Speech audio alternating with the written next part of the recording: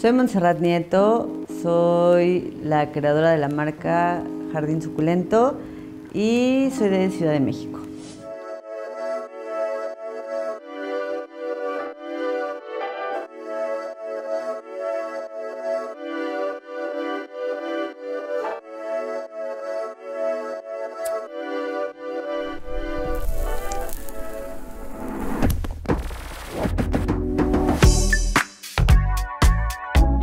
El primer acercamiento que tuve con ella fue en un concierto en Ceú, me invitaron a ver a las ultrasónicas.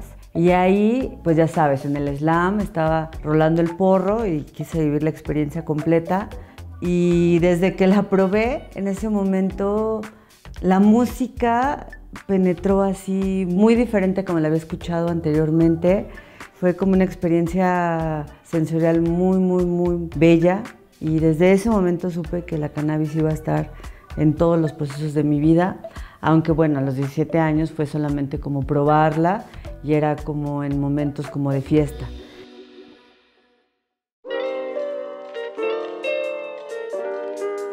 Ya es a los 21 años, cuando estoy en la universidad, que ya está conmigo en un proceso creativo para poder crear cosas hermosas. Ya después, a los 25 años, tengo mi primera luxación y me daba cuenta que cuando fumaba cannabis me relajaba bastante. O sea, era muy notable cuando estaba sin cannabis a cuando fumaba cannabis. Es hasta mi segunda luxación que me empieza a dar curiosidad el primer proceso que tuve, ¿no? que me daba cuenta que era un relajante muscular y que lo que sentía, la lesión, se desvanecía. Es en mi tercera luxación cuando los doctores me, cierran las puertas, ¿no? Me dicen, ¿sabes qué? Ya te luxaste tres veces, aunque te operemos, probablemente nunca vas a estar al 100. Y recuerdo mucho una frase que me hizo resonar de un amigo que es doctor y me dijo él, Monse, tal vez tendrías que aprender a vivir con una lesión crónica. De verdad, cuando yo estaba entrando al Temazcal así lo escuchaba en eco, así crónica, crónica. Y la verdad es que dije, no, o sea, no tengo por qué vivir con una lesión, no tengo por qué sentir dolor todos los días. Y fue en ese momento donde de un uso lúdico creé el aceite poderoso.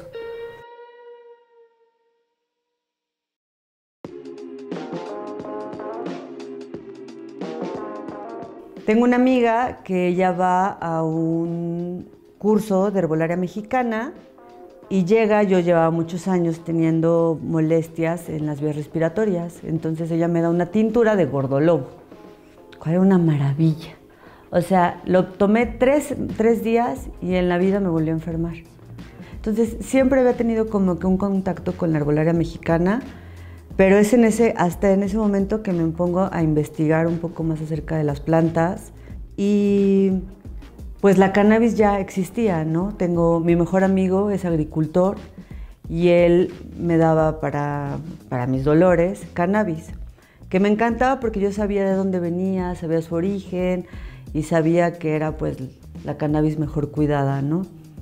Entonces, pues me pareció fabuloso, ¿no? En ese momento que creo, ella me enseña a macerar, que es meter plantas medicinales junto con aceite hay personas que lo ponen en un lugar oscuro, hay personas que lo siembran en la tierra para que los aceites extraigan literal la esencia y el alma de las plantas. Entonces, mi primer pinino fue hacer ese aceite, que hasta ahora actualmente es de los aceites más aceptados y de los aceites que más ha ayudado a las personas. Lo que yo quería primero hacer era que las personas, bueno, en este caso yo, dejara de sentir dolor. Entonces meto plantas medicinales que también hacen que te desinflames y meto otras plantas que son regeneradoras celulares. Yo he aprendido mucho, o sea, Jardín es mi bebé porque ha sido mi herramienta de autosanación y autocuidado y también ha sido un gran maestro. Entonces, el yo ir creando poco a poco estas pócimas, estos brebajes, estas maceraciones, es también darme cuenta de los procesos mismos de la naturaleza. Si estamos extrayendo y si estamos al ritmo de la naturaleza, pues es lo mismo. O sea, si tú tan amorosamente esperas que una planta crezca para tú poderla cultivar y después...